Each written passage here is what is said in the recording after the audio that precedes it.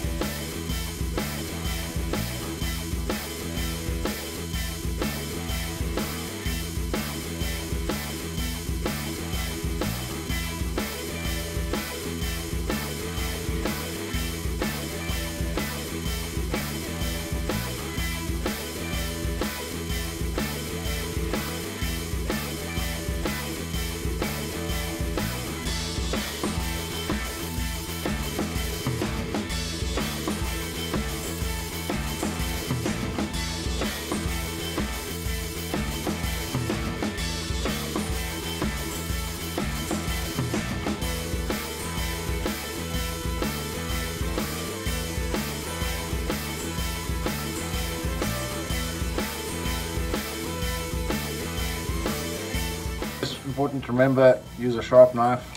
Uh, I prefer using uh, one of these Stanley knives, gives me more control. And also try and cut out the elements uh, apart first before I actually start cutting into them. It just makes it easier.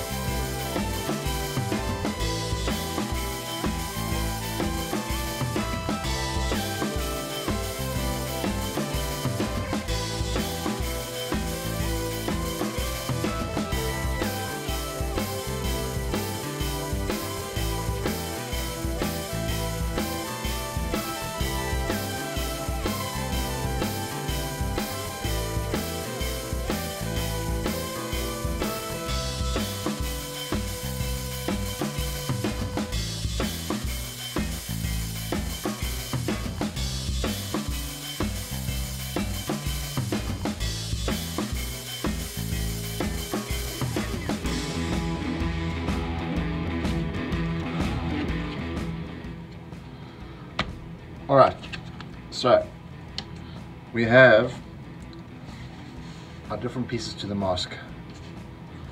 Now, whenever I'm working with leather, um, I'm always trying to make the edges look good. Now, one of the ways that you can is using one of these little tools. I don't know what the technical name for it is, but it's a leather edger. I'm going to call it a leather edger. Might be called something different in America. And basically what it does is just removes that sharp little corner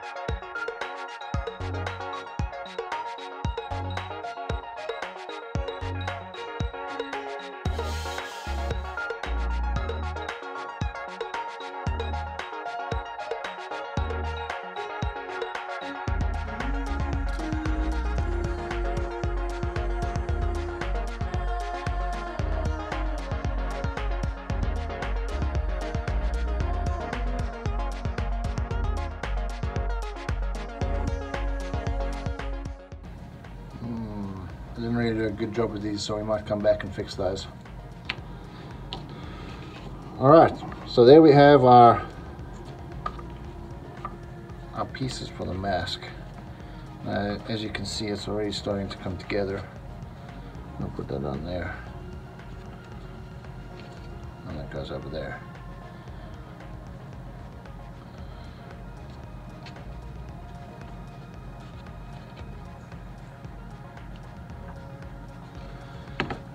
Okay. Next is to actually do the tooling, uh, which gives you the texture on the mask.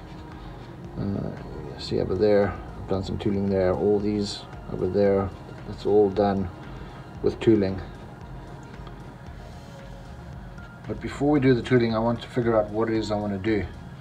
And what is the theme of the mask. Now obviously this is kind of loosely based on samurai uh, face mask uh, and for this mask that I'm making now the the idea is to make it a red and gold theme. I saw a, a cool photo on, on the internet where the teeth were gold and the rest of the mask was all red.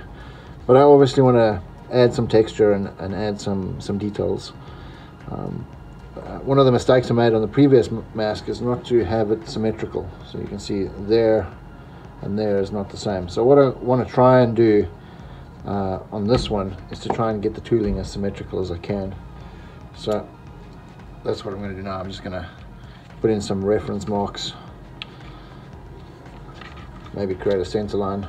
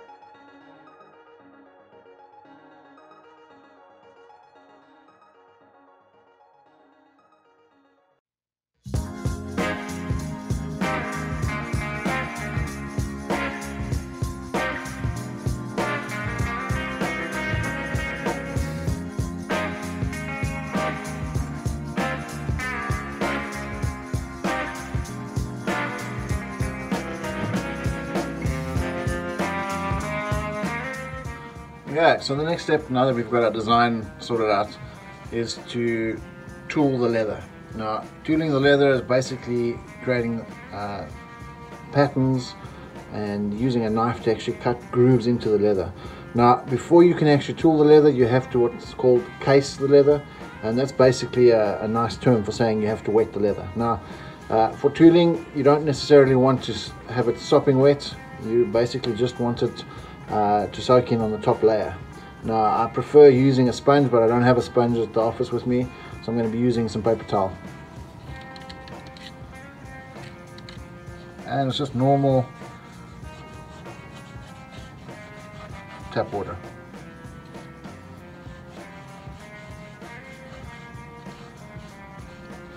What you're trying to achieve is you're trying to get a an even layer of moisture all over the leather. And you have to do this a couple of times.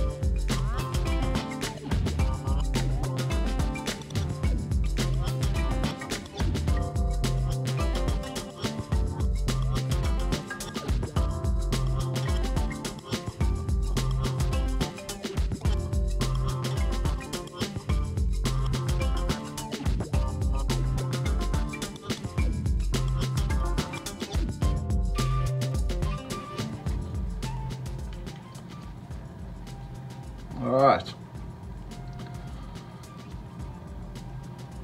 Now, what I like to do, uh, and the same when, when I'm doing sheaths, um, I like to add little marks.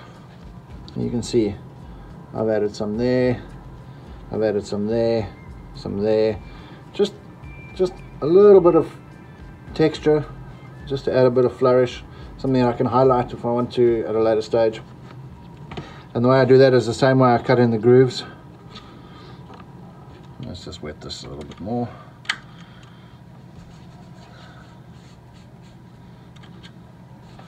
And this is where your creativity starts coming together, is um, deciding where you want to add those lines, where you think it's going to benefit the, your design, if any.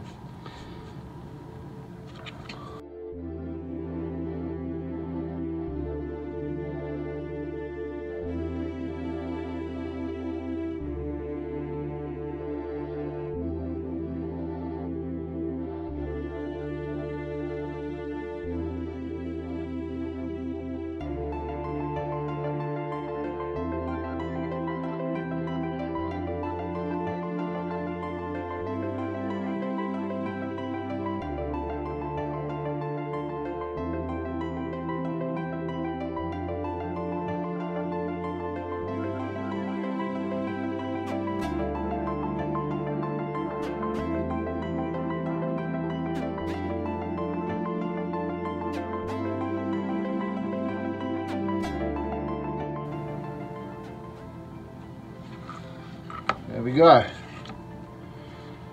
All right. Now, in the previous one, I added some marks on the teeth. On this one, I think what I'm going to do is I'm going to leave the, the marks off of them because the teeth are going to be solid gold. So I don't want to interfere with the paint job too much. Let's put that on there.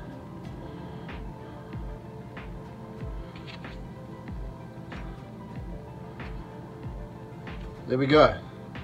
So now after I've uh, after you've done this I would leave the leather to dry. That just ensures that when you do the shaping of the leather that the pattern that you've created and the texture that you've created doesn't bleed out or get smoothed out. And I would leave it for a couple of hours. Obviously if you're in the summer it'll dry a lot quicker. In the winter you have to wait a little bit longer. Um, once it's dry we'll start the shaping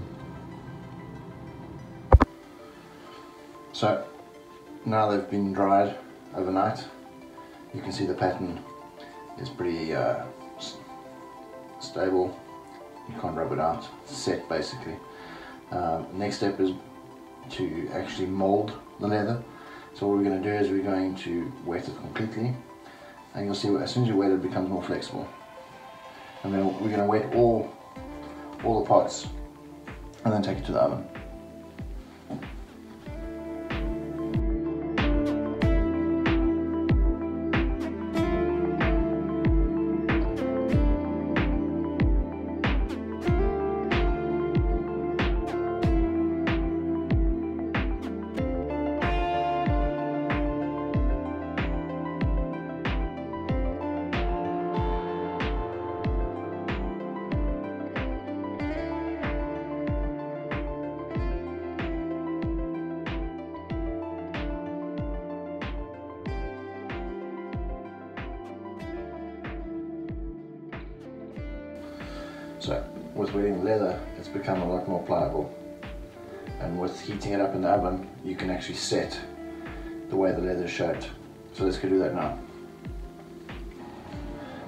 So with this particular mask, um, I start off with the bottom half of it first, uh, get it shaped, and then we can match the top half to the bottom half.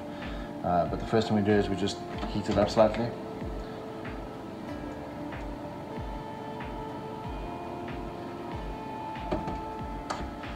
We'll let that go for a couple of minutes and then we'll start shaping.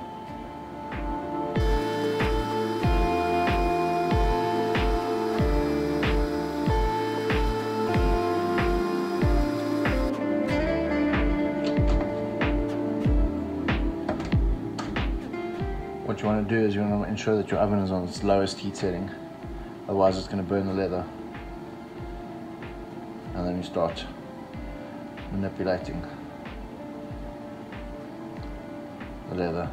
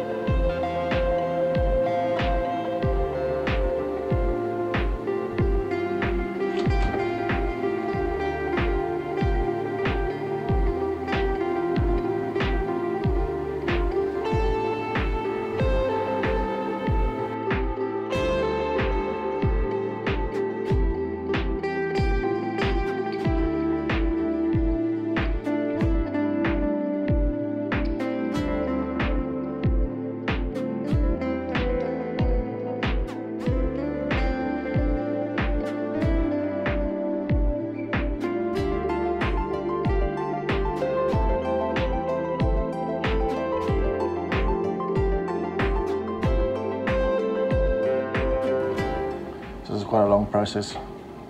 Uh, but as you can see, the leather is starting to retain its shape. And as you keep on shaping it, every time the water evaporates and the leather will actually stay in that form.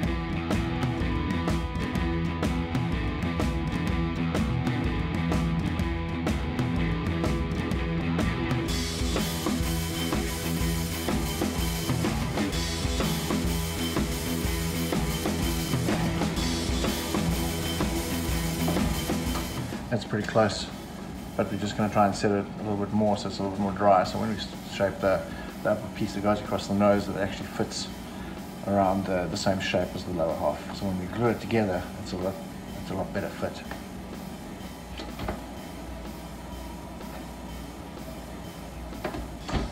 So as you can see, leather's gotten a lot drier. You can see it's a little bit wet in there. It's to the point where I'm pretty happy with the shape and we can start working on the nose piece.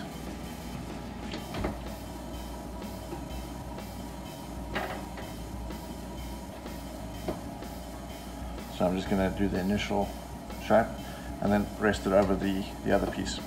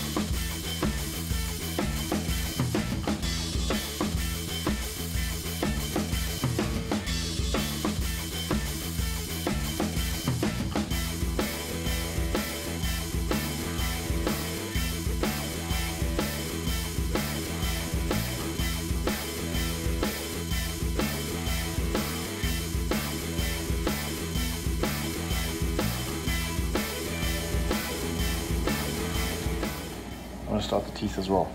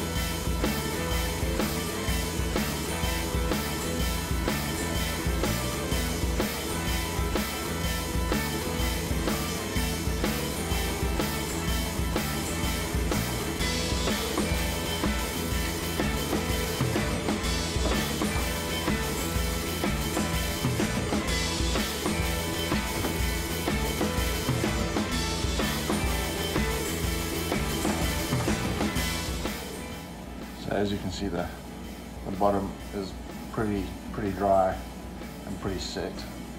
So it allows you to use it to adjust how it's going to come. So I want to be able to twist this nose slightly backwards which means I have to bring these forward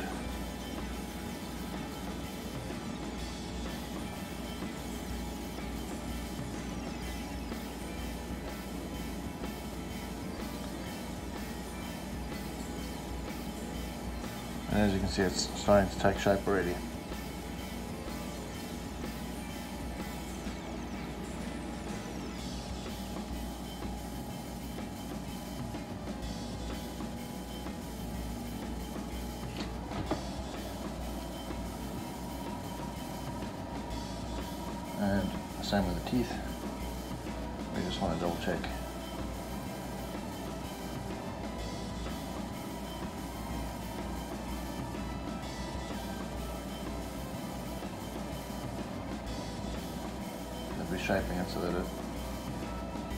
Something that we can actually glue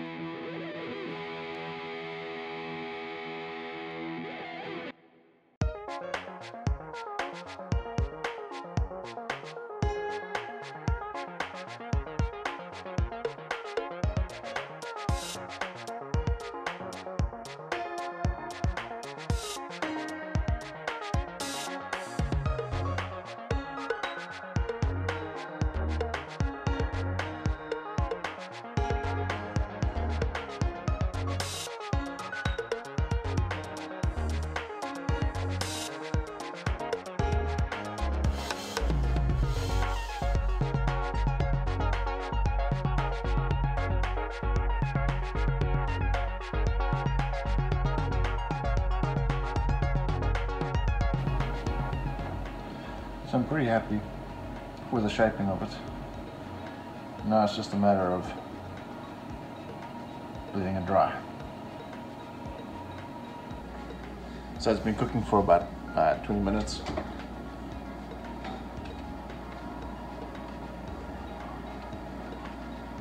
I'm pretty happy with it.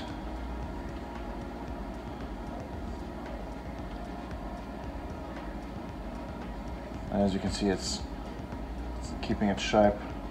It's pretty hard. Um, teeth work as well. Uh, it's pretty warm.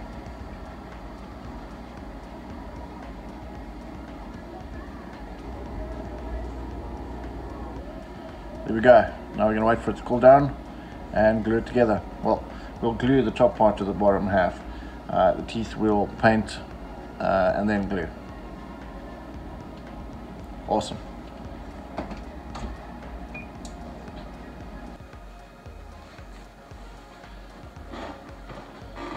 Next step is to mark where the glue is going to be. See it again because I'm going to be painting. It doesn't really matter that I have marks on the, on the leather.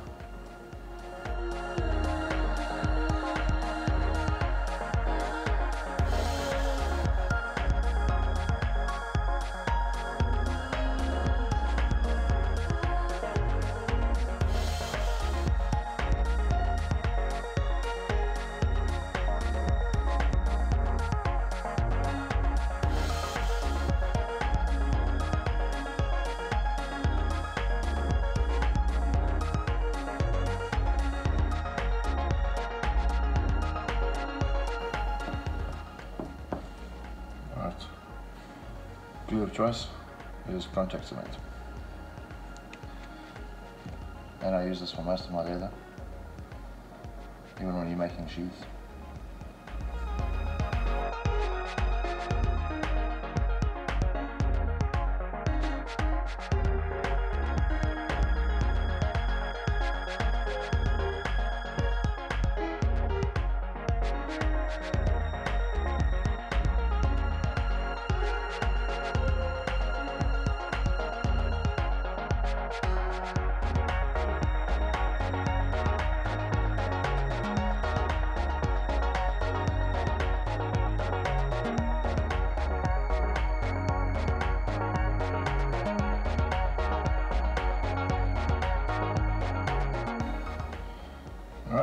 you wait for that to dry.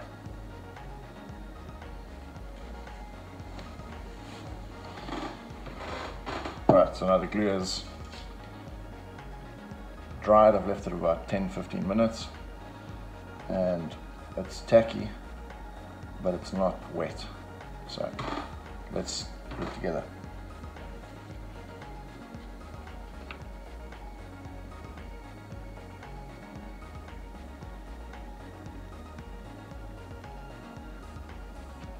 So I'm using the marks that I made previously as references.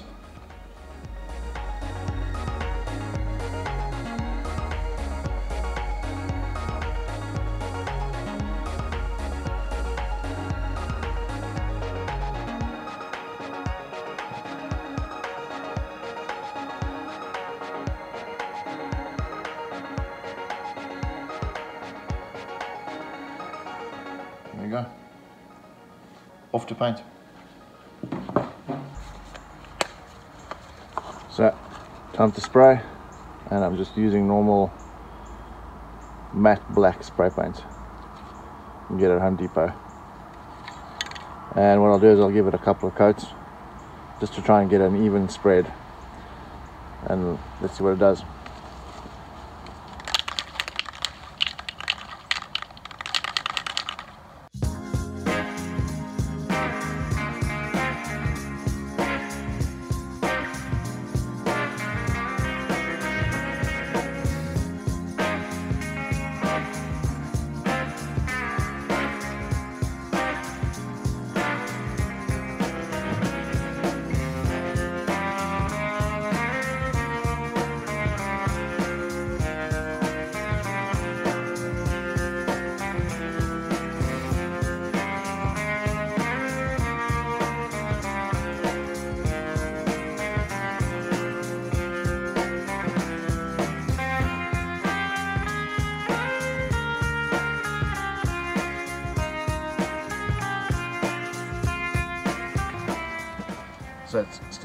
But you can see that the leather's actually retained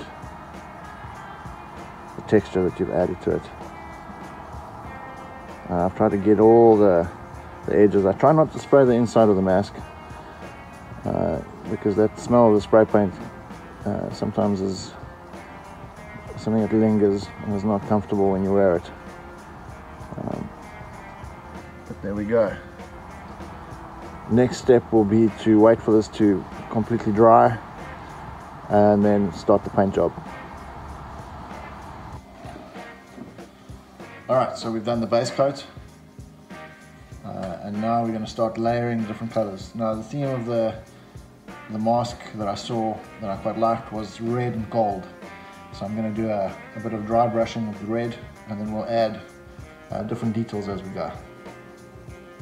I'm using just straightforward acrylic paint. Uh, I think you can get these at Walmart for a dollar. Uh, so really inexpensive.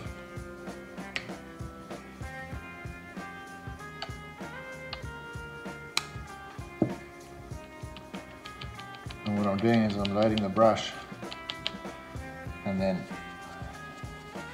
taking most of the paint off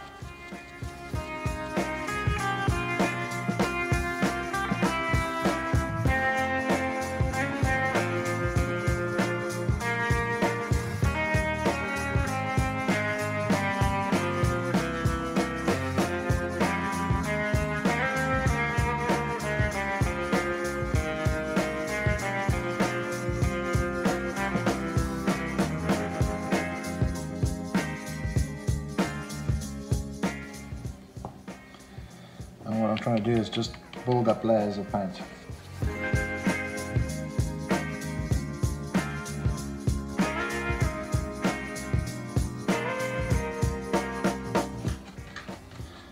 And by using this technique, you actually start to see the texture that we built into the leather beforehand.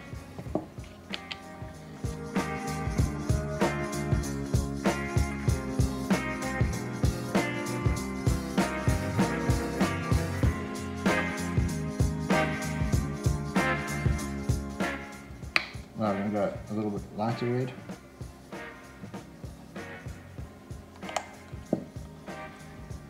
And same concept.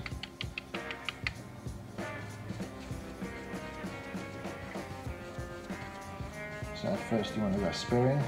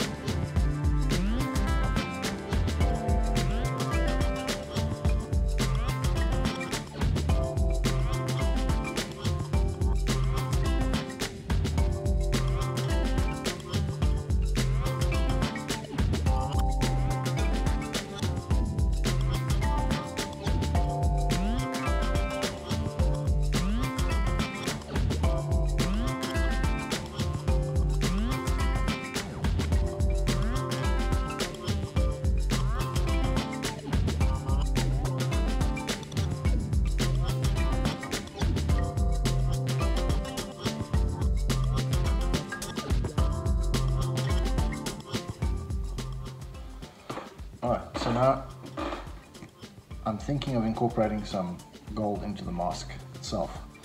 The teeth are going to be gold and might just be a little bit too red. So, uh, uh, go, touch the black paint. And what I'm thinking of doing is adding some, some gold to that section there. But let's see, let's see if it'll work.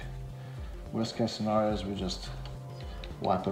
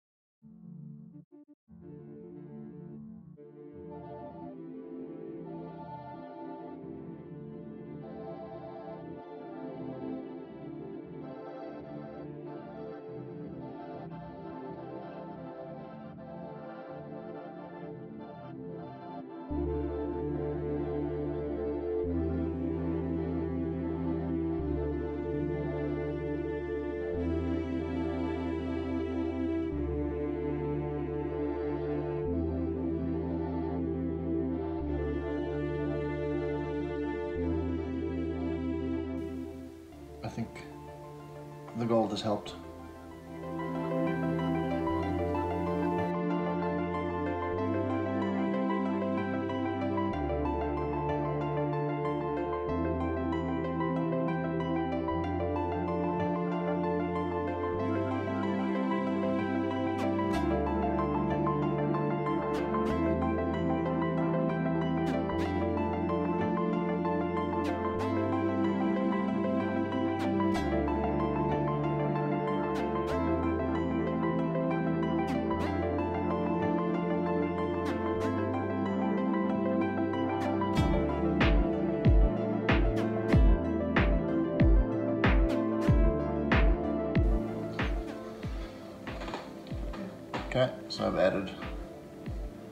Cement.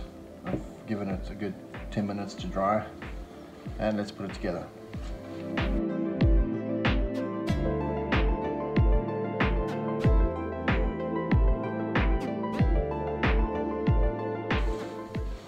There we go. Mask complete. Um, I didn't think about it when I was making it, but it's it's the Iron Man samurai mask.